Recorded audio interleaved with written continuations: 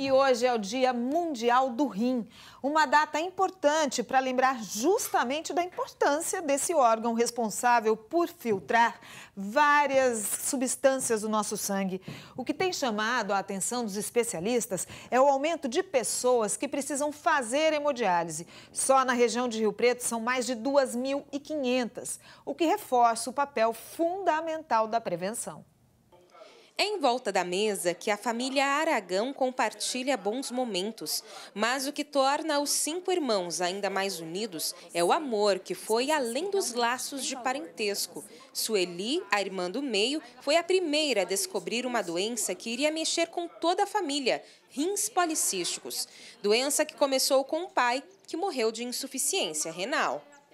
E nessa investigação se descobriu que as duas mais velhas não tinham a doença e que o casal mais novo, que é a Shirley e o Douglas, eles tinham a doença.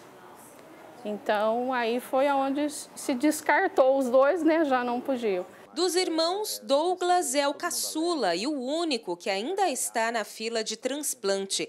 Há mais de oito anos fazendo hemodiálise, ele conta que as consequências da doença vão além do incômodo do tratamento. Perdi a sensibilidade do joelho para baixo, está começando nas mãos, né? E fico, parece que meu pé agora está dentro de uma panela, de uma bacia com gelo, entendeu? E são outras coisas ainda, cirurgias que a gente passa, tudo, todas essas coisas. Não é apenas ir lá e fazer. E quanto mais tempo passa, mais a gente vai obtendo outras enfermidades. Uma das sobrinhas, Viviane, recebeu transplante do rim há sete meses. Ela conta que, mesmo com a possibilidade de desenvolver a doença, não acreditava que passaria pela mesma situação enfrentada pela mãe. E eu chorava muito, chorei, chorei, as enfermeiras choravam comigo, a assistente social chorava comigo, todo mundo chorava comigo. Aí eu tinha duas situações, ou eu enfrentava, ia viver, ou eu ia sentar e esperar a morte chegar, né? Diagnósticos que aumentam a cada dia. Todos os anos, 2 milhões e 400 mil pessoas morrem no mundo de doença renal crônica. Só no Brasil, já são mais de 120 mil pessoas que realizam hemodiálise, um número que cresceu mais de 100% nos últimos 10 anos.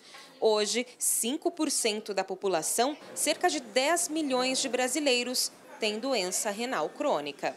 Em Rio Preto, o setor de hemodiálise do Hospital de Base atende 406 pacientes que dependem destas máquinas para sobreviver.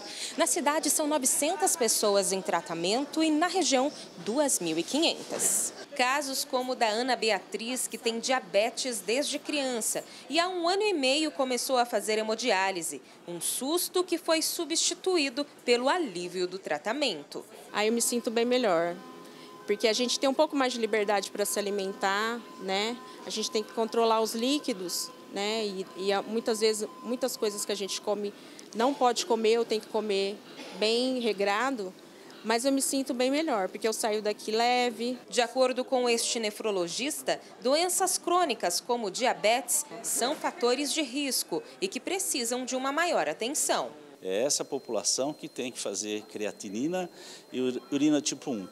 Quando você for no seu médico, quando você for na unidade básica de saúde, que seja algum programa de acompanhamento, tem que dizer como é que está o meu rim.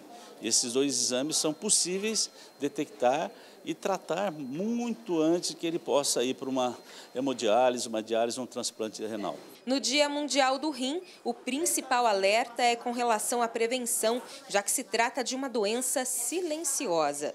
Nós queremos pegar milhares de pacientes que não sabem que são doentes, os seus rins já estão danificados e que correm muito risco antes de chegar a essa fase. Então, é esse é o alerta do Dia Mundial do Rim. Pacientes que enfrentam uma rotina muitas vezes cansativa e dolorosa, mas que não perdem a esperança de um dia não depender de uma máquina para sobreviver. É muito importante a doação do rim, dos órgãos, porque a gente está aqui, a gente necessita, do, do a gente está na espera de uma doação do rim.